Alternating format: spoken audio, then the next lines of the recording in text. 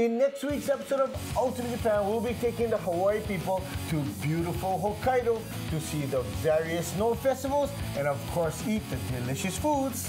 支笏湖の氷濤祭りに行きましたもちろんすごく寒かったけど綺麗だっ It was so beautiful. And then we have a salmon and king crab lunch was so good, don't miss it. So remember, follow me so you can experience Japan like you've never done before. Cheers.